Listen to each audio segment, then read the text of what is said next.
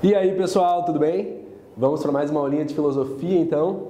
Hoje nós vamos uh, continuar tentando entender sobre o surgimento da filosofia, como é que começou esse pensamento filosófico a aparecer. Vocês lembram, né, na nossa aula de mitologia, nós estávamos falando que os povos antigos, como os gregos, eles acreditavam, tentavam explicar o mundo através da mitologia, né, através dos mitos.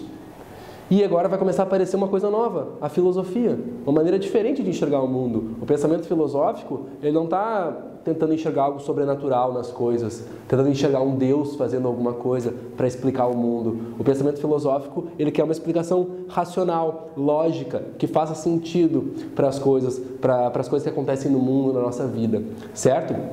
E a filosofia, como a gente entende hoje a filosofia, ela surge precisamente na Grécia, na Grécia antiga, certo?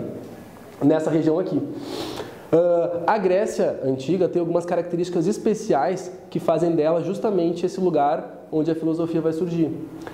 Só que antes de mais nada, antes da gente traçar o porquê que a filosofia surge na Grécia, a gente tem que entender o que, que a gente está falando sobre filosofia. O que, que é filosofia?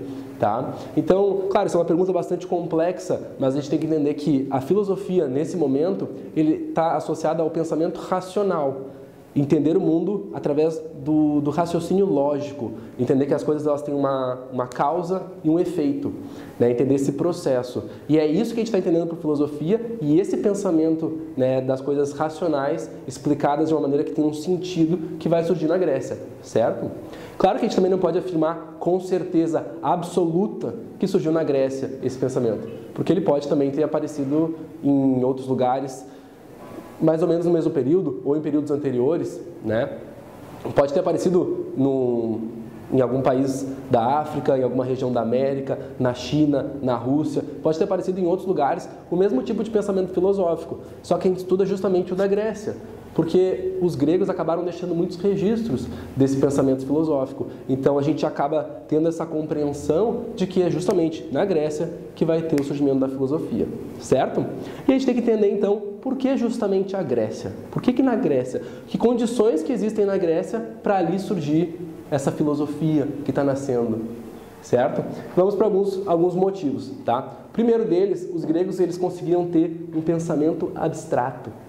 Eles conseguiram fazer abstrações, abstrair, e a partir disso foi mais fácil criar a filosofia. Foi mais fácil fazer questionamentos, investigar o mundo a partir de um pensamento mais abstrato, que até então não se tinha. As pessoas elas eram muito concretas, tá? Então se elas viam alguma coisa, elas iam direto para aquilo que aquela coisa mostrava.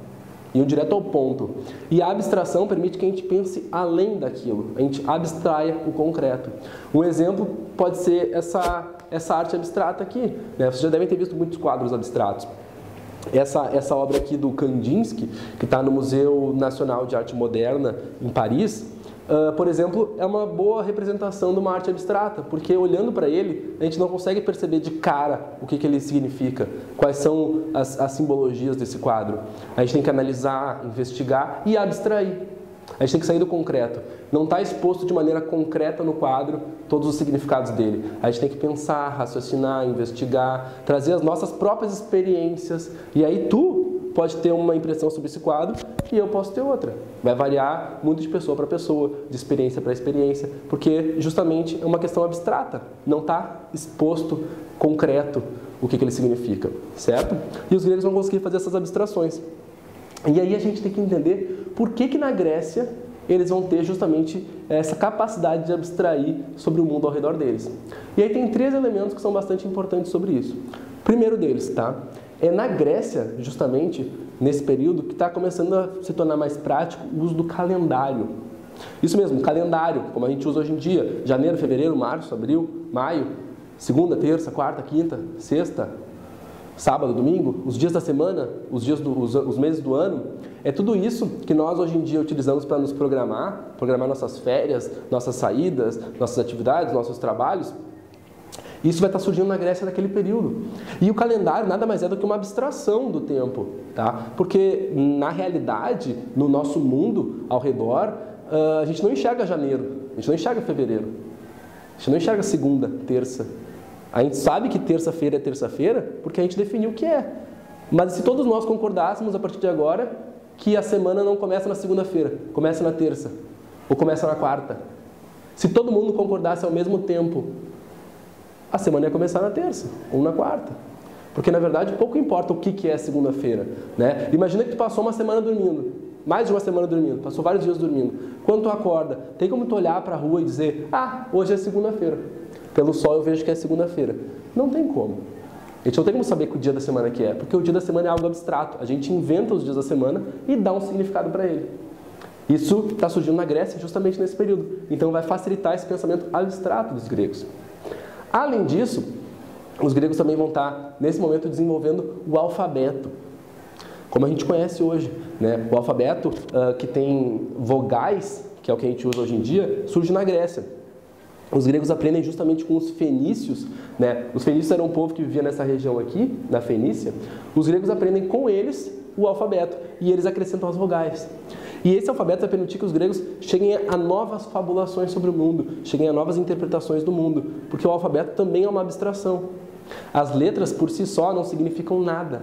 A gente precisa dar um sentido, um significado para as letras para elas realmente terem um significado, realmente terem um sentido. Por exemplo, se a gente pegar a letra, a letra A, a gente sabe que esse símbolo aqui significa A.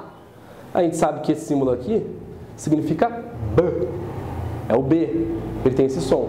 Então eu sei que se eu juntar o B e o A, vai dar BA, certo? Mas esses símbolos, eles só têm esse valor porque nós atribuímos esse valor a eles. É algo abstrato. Se a gente combinar agora, a partir de hoje, todos nós combinamos que o C vai ter o som de B e o B vai ter o, tom, o som de C. A gente vai trocar o som dessas duas letras. Será que elas perdem o sentido? Será que elas deixam de existir? A gente pode continuar usando elas da mesma maneira. Por exemplo, se eu escrever aqui no quadro a palavra futebol e eu disser para vocês que uh, essa letra aqui ela tem o um valor de B, de B, todo mundo vai conseguir ler aqui futebol independente do que está escrito. Porque quem dá o valor para esse símbolo, quem pega esse símbolo aqui e dá um valor para eles, somos nós. Nós interpretamos eles da, mesma, da nossa maneira. Certo? Por exemplo, se tu pegar em casa um livro, qualquer livro, e tu trocar todas as letras B por letras C, e todas as letras C por letras B. No início vai ser meio estranho de ler esse livro, mas depois de algum tempo tu pode ler esse livro com facilidade. Porque tu já vai estar acostumado. Então tu já vai ver um C e tu já vai fazer na tua cabeça um som de B. E tudo vai fazer sentido novamente no livro. Certo? Porque isso tudo, terça-feira, quarta-feira, uh, B, C, A, D, essas letras são todas abstrações. Elas não têm um valor por si só. Elas têm um valor que nós atribuímos a elas. Certo? Além disso, além da, da, das vogais, né, das letras que a gente está atribuindo um sentido para elas, nós também temos outros elementos do mundo grego que vão ajudar a gente a fazer essas abstrações. Por exemplo, o dinheiro. Tá? O dinheiro está começando a ficar mais popular na Grécia naquele momento. E o dinheiro nada mais é do que uma coisa abstrata. O dinheiro só tem valor porque a gente dá valor para ele. Por exemplo, deixa eu ver se eu tenho aqui. Uma moeda de uma moeda de um real, por exemplo. Qual é o valor que essa moeda tem? Tem um valor de um real, mas esse valor é porque a gente está dando esse valor para ela. Na verdade, é um pedacinho de ferro, de níquel, que não vale nada por si só. Se a gente disser todo mundo junto que essa moeda aqui vale 50 reais, ela passa a valer 50 reais, certo? Se todo mundo concordar no Brasil inteiro que essa moeda vale 50 reais, eu posso ir no mercado com essa moeda e comprar uma coisa no valor de 50 reais. Porque o dono do mercado também vai entender que essa moeda vale 50 reais. É a gente que dá o valor para ele. O valor dele não está nele mesmo, não é concreto, é algo abstrato. A gente tem que dar um significado para esse dinheiro. Por exemplo, uma nota.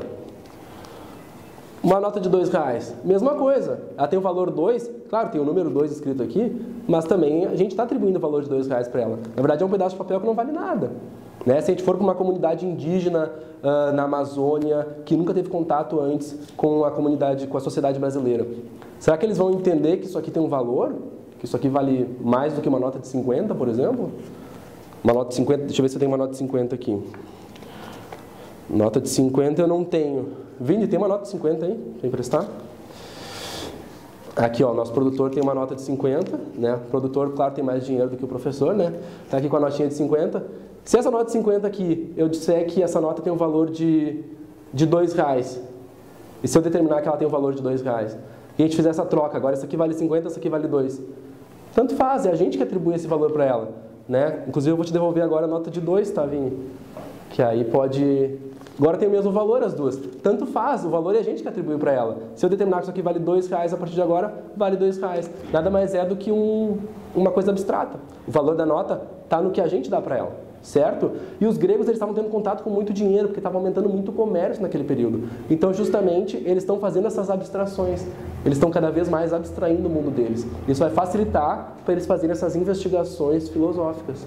Isso já é super importante. Além disso, Grego, os gregos também vão ter um choque de culturas. O que, que é um choque de culturas? Eles estão tendo contatos com comunidades, sociedades diferentes.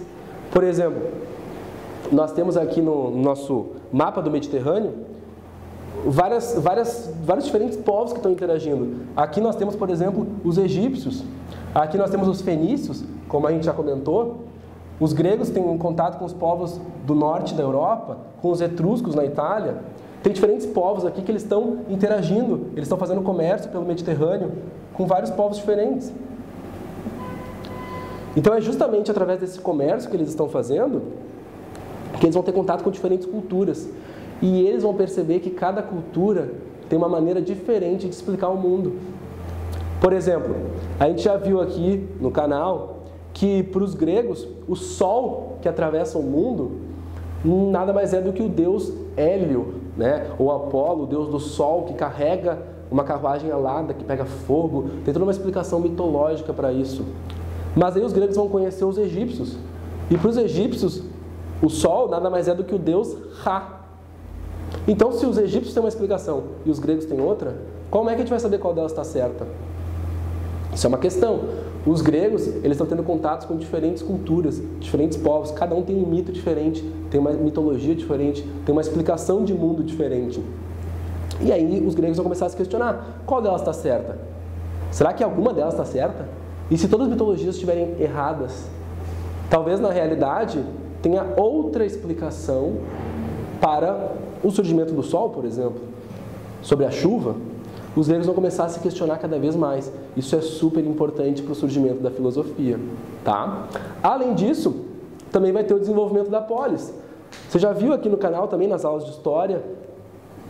Se não viu, clica aqui, por favor para assistir aulas sobre história, sobre a Grécia Antiga, mas certamente tu já sabe que a, a polis nada mais é do que a cidade-estado grega.